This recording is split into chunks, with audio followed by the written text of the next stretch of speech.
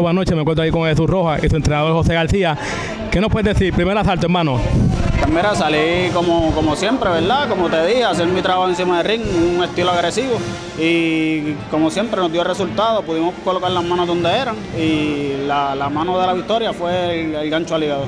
¿Pensaste que iba a acabar tan rápido? ¿Pensaste que iba a la distancia? ¿O pensaste que el asalto intermedio podía acabarse? Mira, yo sabía que la pelea pues iba, me iba a beneficiar, ya que el muchacho siempre viene hacia adelante, ¿verdad? Tiene un estilo escurridizo, pero siempre viene hacia adelante.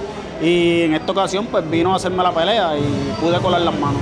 Varios fanáticos están comentando que la pelea no fue por el título. Aclara de tú personalmente qué fue lo que pasó.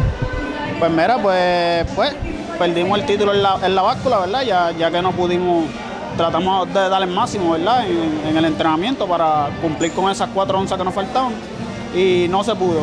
Pero, pero sé que, que cuando hay otra ocasión, otra oportunidad de pelea, vamos, vamos a ir ready, ready. Eh, así te pregunto, en el intermedio de la pelea, ahora cuando se termina la pelea, el muchacho está reclamándole a ustedes. ¿Qué es lo que estaba diciendo él? Mira, eso no se le puede hacer mucho caso porque es que primero con un palo por encima y se cae. Y se queja que, que agarrándose el ojo. Después dice que golpe bajo. Eso no fue golpe bajo, bien claro que se vio un golpe en la costilla, tú sabes. No, eso no se le puede hacer mucho caso. ¿Qué puede seguir para Roja ahora mismo?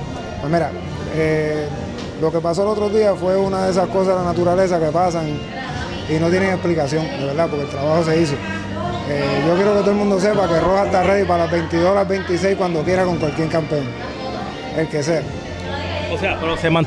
de, de problema del peso, ya 122 parece que está imposible hacerla. No, no creo, padrino. Tú sabes, hay que, que coger las peleas. Mm, Creo que eh, el problema aquí fue el tiempo que estuvimos inactivos. Estuvimos seis meses inactivos, estuvimos navidades. En Puerto Rico todo el mundo sabe que las navidades se pasan en familia, que se come lechón, que se come cuerito. Y creo pues que el factor aquí fue el tiempo que estuvimos sin pelear. Estuvimos sin pelear casi seis meses y creo que ese fue el factor. Bueno, quiero que la gente escuche. Miren, una bulla para Roja. Para que la gente sepa, tuve que coger las rojas por acá porque tiene un, un tumulto de gente esperándolo. Rojas para, para los fanáticos que te siguen ahí, que están fielmente apoyando. ¿Qué puedes decirle? Eh, que yo me trepo allá arriba, que gracias a ellos, a ese apoyo, me siento orgulloso de ellos, mis compañeros de trabajo, mi familia, me siento súper orgulloso de ellos y cada vez que me trepo ese ring, no peleo por mí, peleo por ellos, por mis hijos, por mi familia. Jesús, mucha roja, hermano. Mucha suerte, hermanito. García, mucha suerte, papi. Dale.